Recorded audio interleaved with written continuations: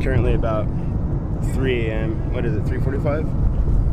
And we're on our way to the airport so we can get on a plane to Lima.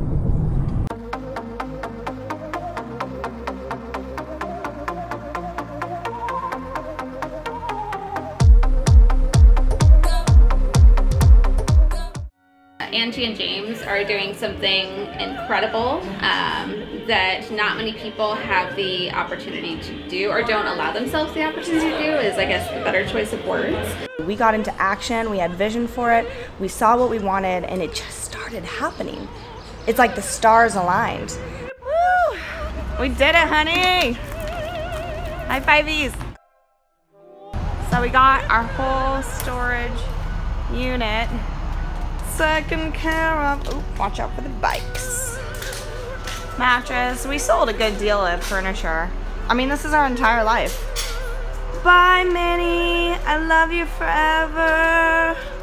Mmm, good Minnie. Good Minnie. Okay. We got Mozzie. She's looking sharp as usual. Mozzie's gonna miss us. Mozzie's like the feisty younger sister, you know? James the night I met him, we met on a blind date. He actually told me he was moving to Australia. And that's when I knew I had a wanderluster on my hands.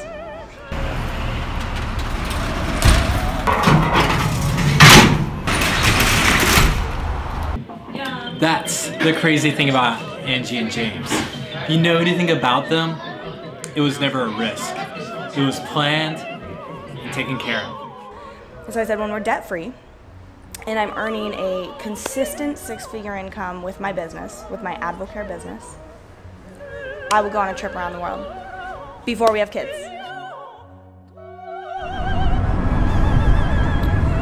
Spark.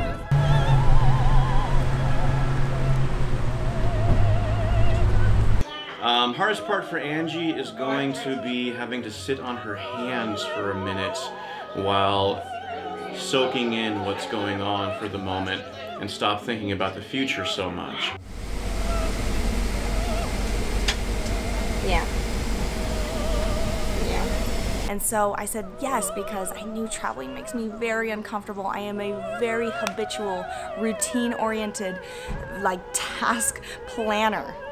So being in this element of I don't know what time zone it is, I don't know what I, I don't know what I packed. Um, I like we're like it's winter time, but I didn't pack enough, and just like all this stuff that's out of my control. It's hard, but it's so good, so good. Um, well, Angie, duh, it's gonna be like she doesn't know if she's gonna have Wi-Fi, and it might be the end of the world.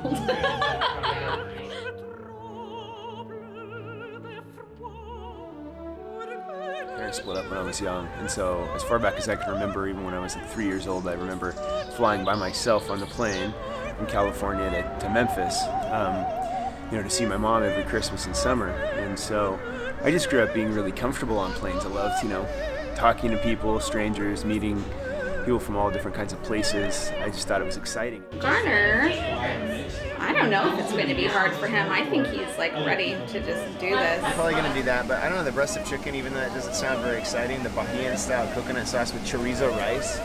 You're going to have me at chorizo. You know, I've traveled with James, so I, I know that he can like you know do the backpacking scene and he can do whatever he wants. But I also know that he would probably much rather be in the four-star hotels. Um, in any case, I want to see what's up with this amenities kit. Um, what, did you check yours out? Drank all your champagne. Well, it goes down pretty easy. I mean, it's not like Dom or anything, but I'm just joking. I, this is actually my second. I got. Oh, really? That's tight. you, man, you had extra glass at the lounge too. So you got some. Um, you know you're a lightweight. Some tread on the socks. Dude, I love my socks already. Little eye mask, toothbrush, so I can be fresh tonight when I go to sleep. And a United branded pin. I mean, you know, this isn't like an Hermes robe or anything like I hear Cathay Pacific has, but it'll do. For the most part, I would say James is actually, at least from a guy perspective, he was great to travel with. I mean, there were some minor annoyances with, you know, spending like 15 minutes to like completely fold every shirt and put it in his backpack. But you know what? it, it, it's, it's it's very minor, and if that's how he wants to like pack his clothes, I I can't really complain that much.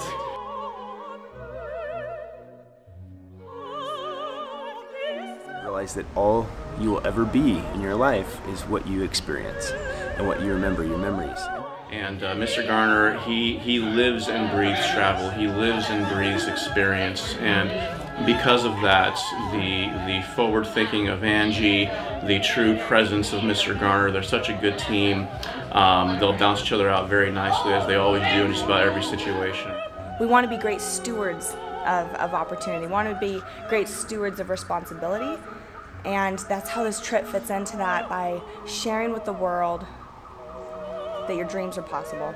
And then, of course, you know, there is the aspect of like your legacy on, on people, on humanity, the people you meet, the kindness you show, and the love you show to people. And, you know, that same thing is reciprocated when you travel uh, because the kindness and the love that people show to you uh, from the countries that you're in, knowing that you're a stranger, you're an alien in that country, and it makes you feel so welcome and you, and you have more faith in humanity. Um, it, it really is just the most amazing thing to see that we all have the same goal and that people are really good at their hearts. Last night, we got out of the Lima airport and we had to get a cab to our hotel, and we're sitting there kind of like arguing with the cabbie about price and distance and stuff. And we're like, we're going to the Wyndham.